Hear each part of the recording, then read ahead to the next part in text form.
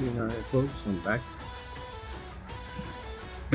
Here's the new fuel pump that we're gonna be replacing.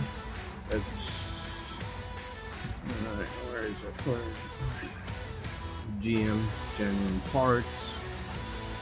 GM uh, as well as let's unbox it.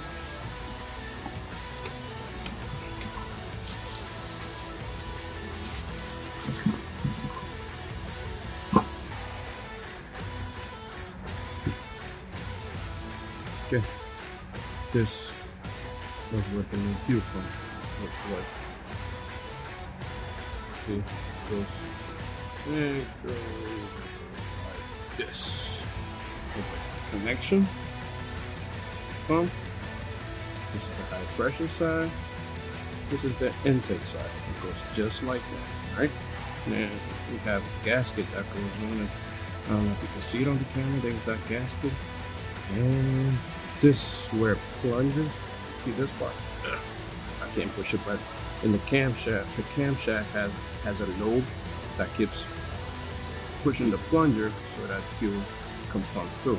But the problem is, inside here, somehow fuel is finding its way from there out here into the the, engine, so you end up with uh, having engine oil that smells like gas.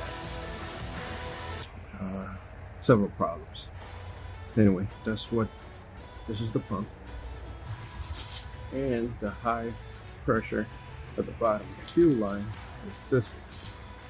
Part number for this is it's a GM part number 126-08374. Alright, just a GM genuine parts. Hmm, Let's take it out.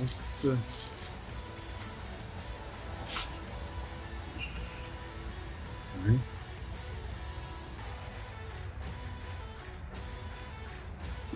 So, pressure, compression fade, both sides. It goes, from what I could see, it's gonna go like this. This goes to the fuel pump on top here, and this goes to the engine block at the bottom, just like that. Alright, let's leave this on for now.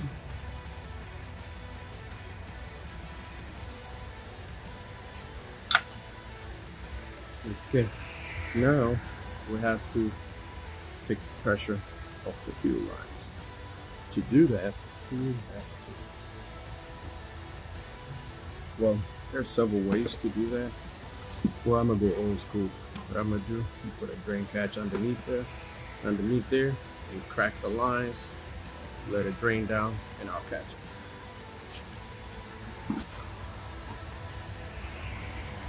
it. All right.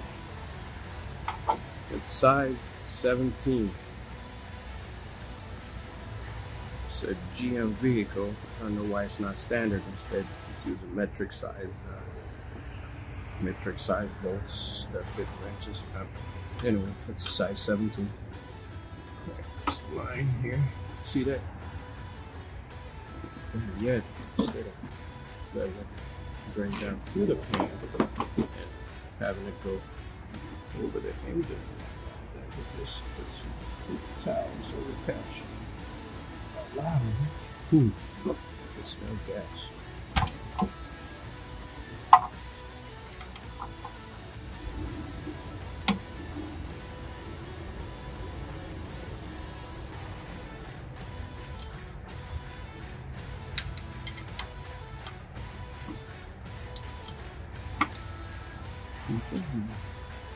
Crack the bottom side.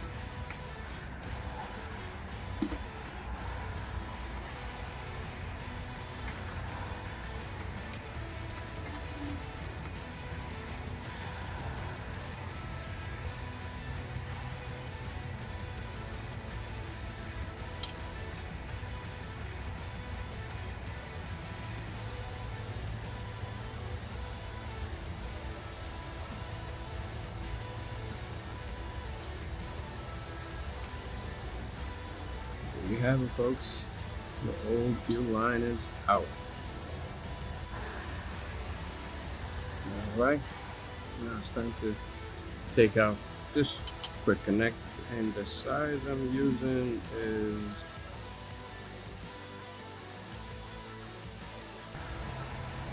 so you go put it on let it rest against it push the fuel line in push this one further in and then now pull the fuel line back out all right just like that voila you see these uh, markings inside? That's fine. That's exactly what you push it. Alright. Now we have the fuel lines disconnected. What we gotta do is just stick the fuel pump out. Right. The fuel pump has two bolts holding it in place and they are number 10. I don't know if you can see it, yep, they're number 10. Again, we get a socket. But I'm gonna do use my wrench.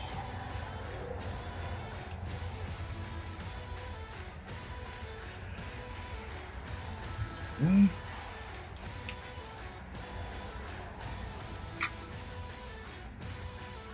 I thought they would be super duper tight, but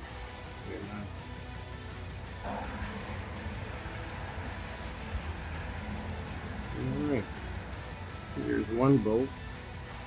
Let's get this bushing, I guess, on it.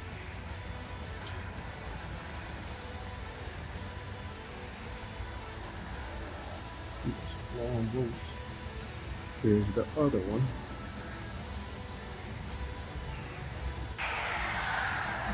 Alright.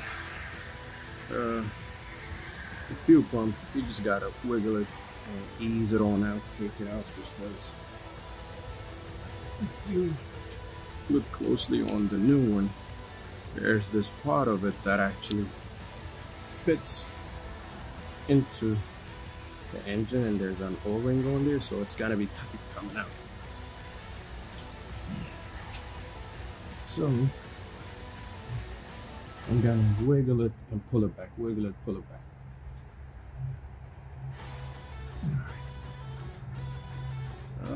this is what the old one looks like this is what we have probably fuel going inside Here's the old gasket.